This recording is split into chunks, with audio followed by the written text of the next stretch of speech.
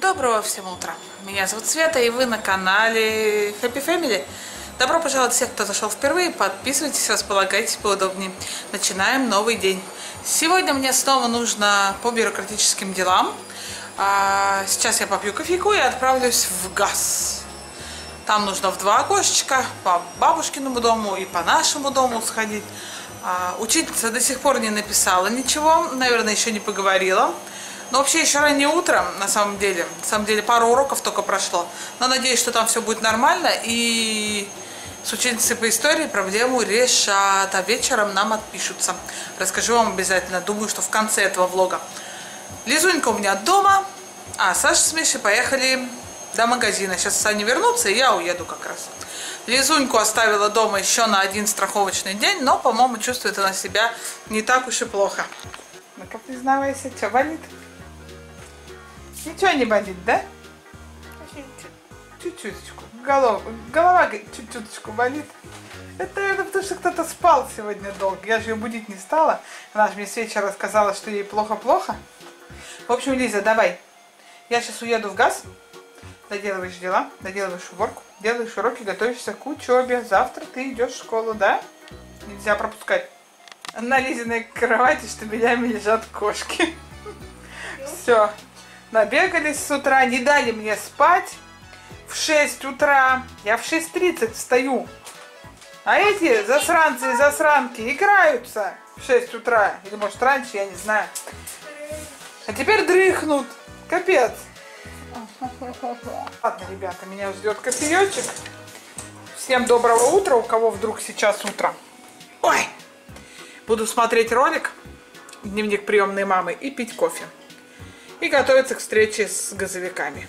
Так, ну все, я уже сижу в машинке. Так, вижу, что у меня вовсю заряжается аккумулятор, значит, опять с утра у Саши была проблема с аккумулятором, значит, по сути, машину глушить нельзя. Еще одна беда на нас свалилась. Блин, так у меня там целый список того, что мне надо срочно купить.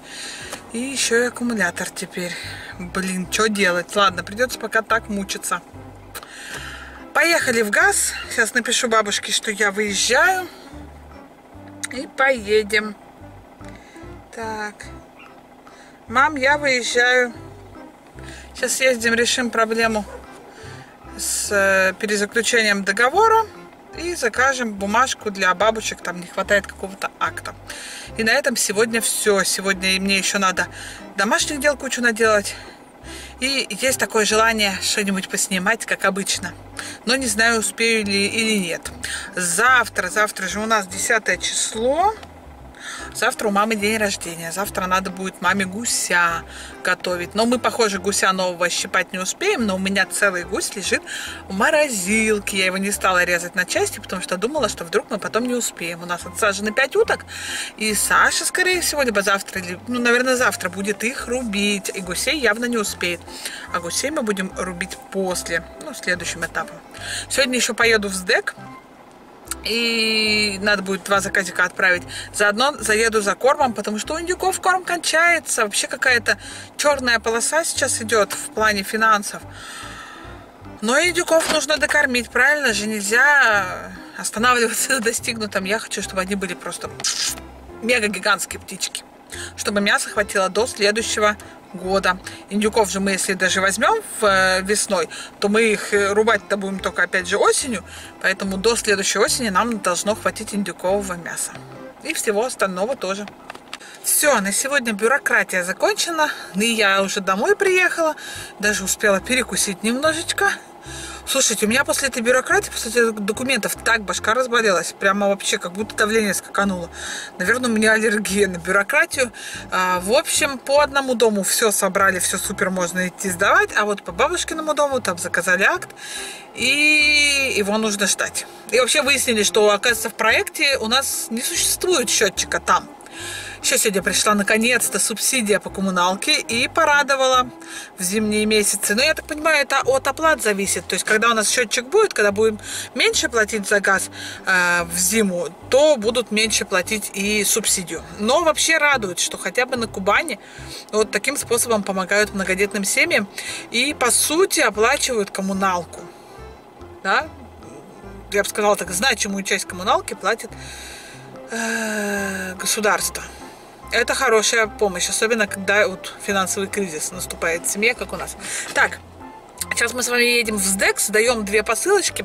Одна вот эта вот большая белая штука, непонятная.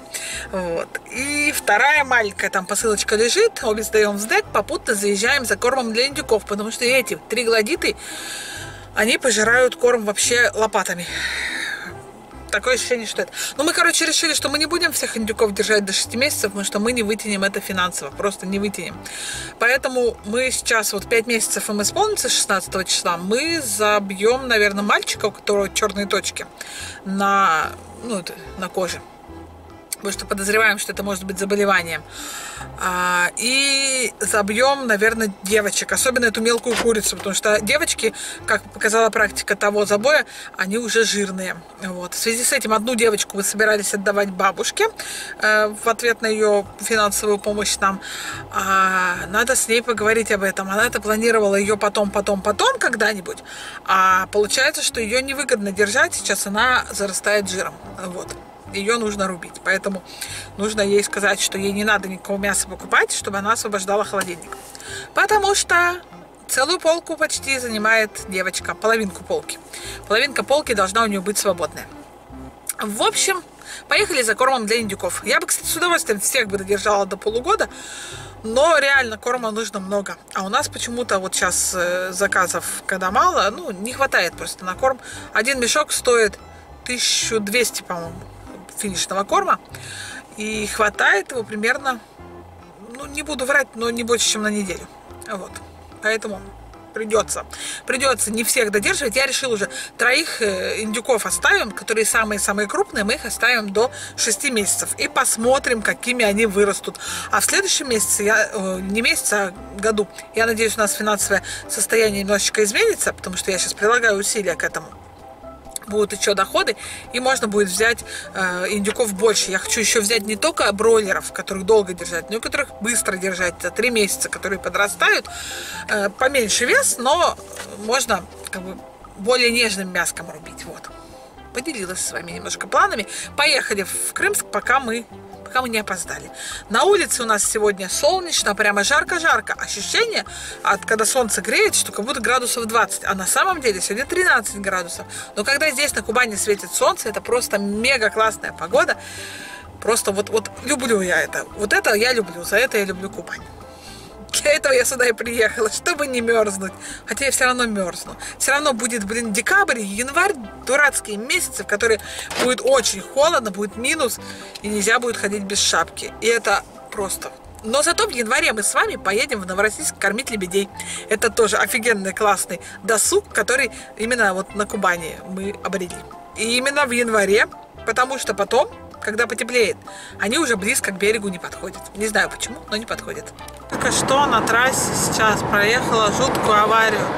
Там стоит реанимация. Одна машина улетела в ограждение, другая в другое ограждение. Явно было что-то типа встречки. Ребята, включила камеру, чтобы сказать вам одну вещь. Будьте осторожны за рулем, но не торопитесь вы так никуда. Ужасно, вообще ужасно. Смотришь на такое вот, проезжаешь мимо и страшно становится. Вот так незаметно, ребята, пролетает день. Сейчас уже почти 5 часов, и я на обратном пути из Крымска. Заехала в овощной и заехала еще в фикс прайс и в пару одежных магазинов. Пыталась найти Мишки новые трусы. Я хочу э, типа боксеров ему. А везде продаются только плавочки. И боксеры я нашла только в одном месте, какого-то странного розового цвета. В общем, ну и размерчик явно не наш. В общем, поиски трусов для Михаила продолжаются. Купила три пары носок в экспрессе.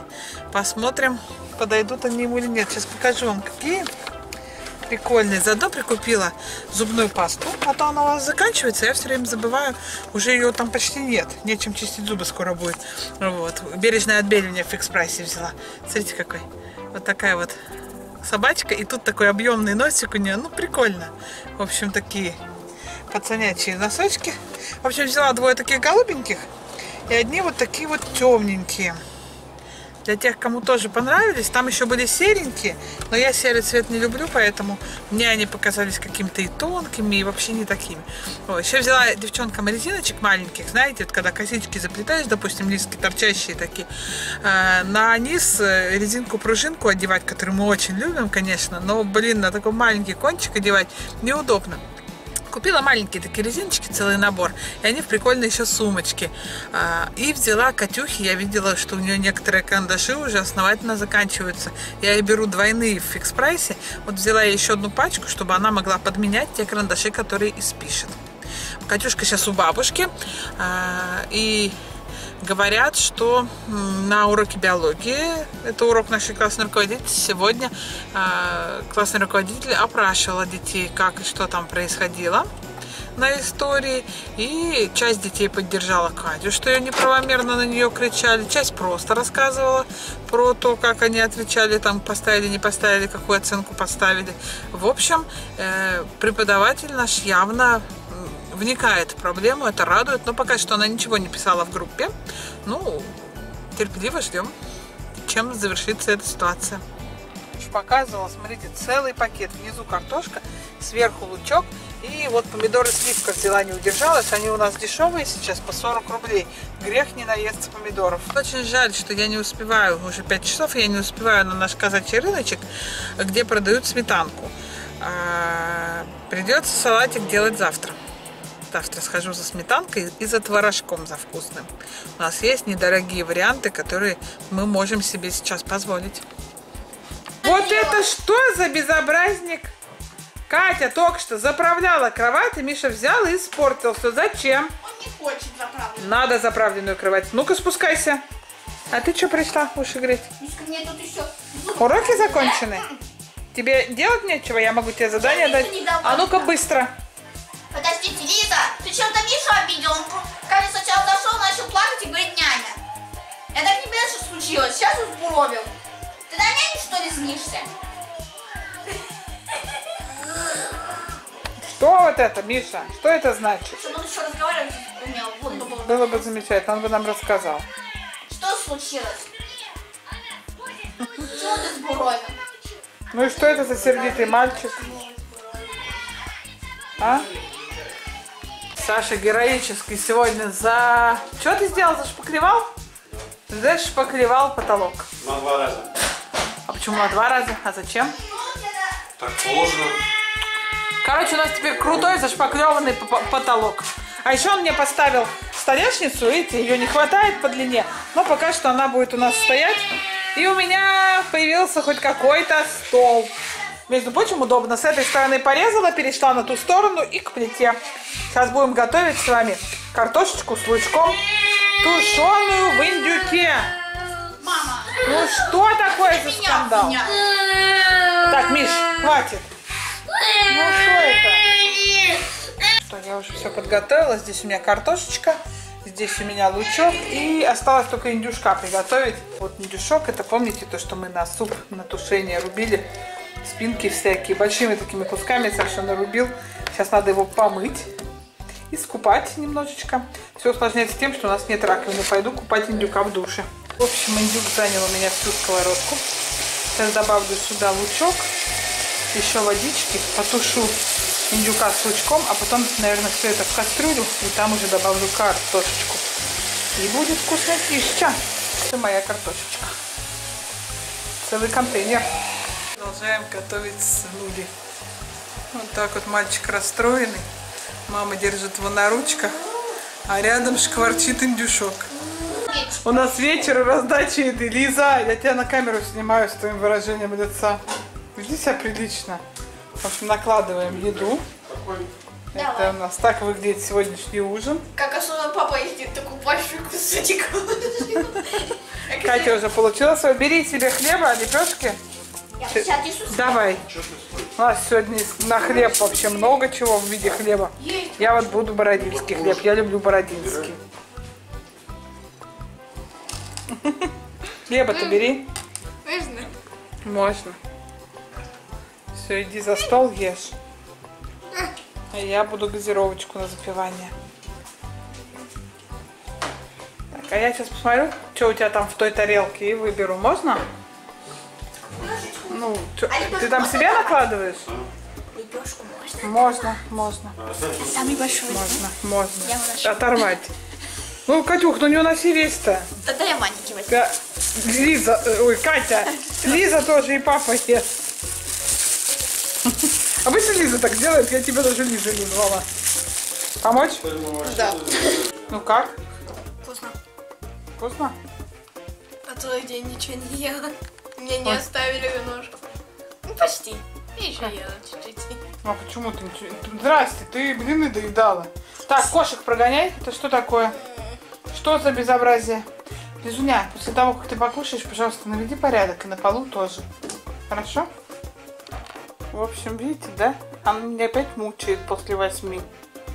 Лиза! Я после восьми в отпуске. Нет. Нет? Всегда с нами. Нет, я все, видишь, сплю. Нет, не спишь. Сплю. Я покушала и сплю. Давай же доучивай свой английский и будем ложиться спать. Подожди, а еще тебе проверить нужно. Кого? Русский и математика. Зачем? Я же проверяла. Их там две. Девятое и восьмое число. Ты что, издеваешься сейчас? Нет. Я не буду сейчас ничего проверять. Почему? Потому что я хочу отдыхать. А кто мне проверит? Домовой. А его тут нет. Придется завести.